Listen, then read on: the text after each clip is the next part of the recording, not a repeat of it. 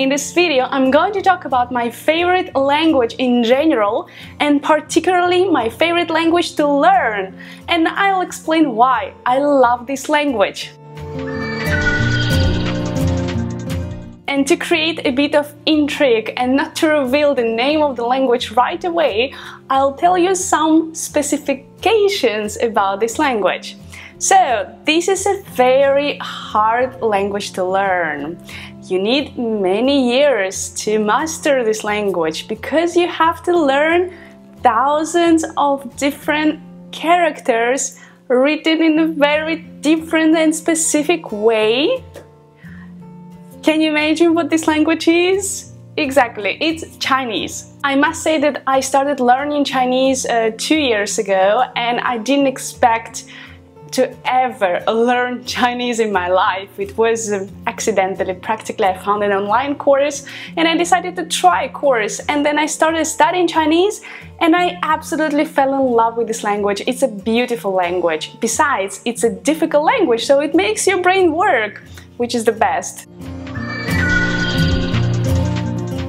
But in this video, I don't want to talk about my subjective perception of Chinese. I want to focus more on the scientific side of learning Chinese. And here I want to touch the subject that I absolutely love, which is psycholinguistics and especially brain activity. If you're interested in language learning or if you've ever studied philology, linguistics or maybe neuroscience, then you know that we have two hemispheres left and right and each hemisphere has their own functions. For example, it's believed that the left hemisphere is responsible for analytical interpretation, for logic, for the analysis, for sequencing, for mathematics, for facts and for language. The right hemisphere is responsible for creativity intuition, feelings, imagination, daydreaming, and arts. So language learning and processing is believed to be dominated by the left hemisphere because this side of the brain involves logic and analytical thinking. However, in a study published in 2015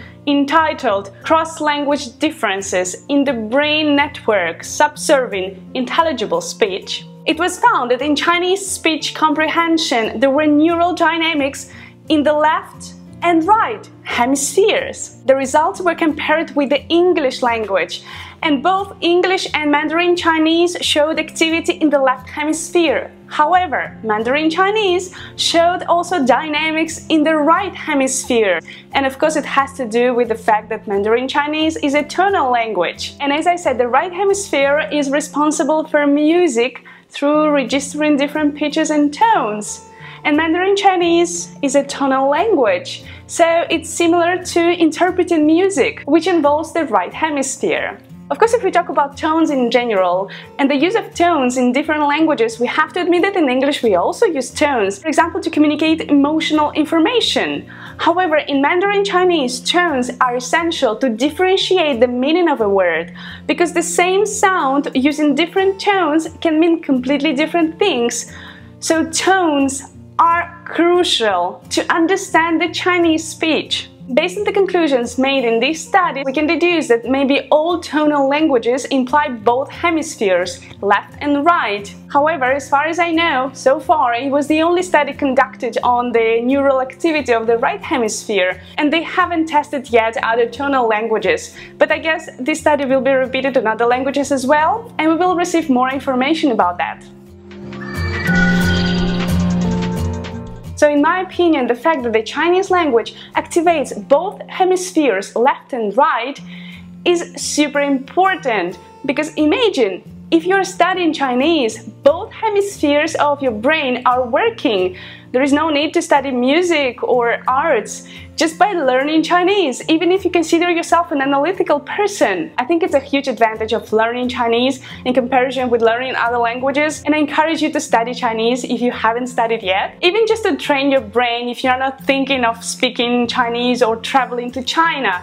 Anyways, I think it's hugely beneficial for you. But of course I have to correct myself when I said about not learning music or arts. I also believe that learning music and arts is essential for our brain activity. And for example, if you consider yourself an analytical person, you like mathematics and physics, why not try to study some music or arts? And vice versa, if you are an artistic person, you like drawing and painting, why not study some mathematics or logic? In this way, you will train your brain and become smarter. that's it what I wanted to say today. Thank you very much for watching me till the end and see you very soon. Bye bye!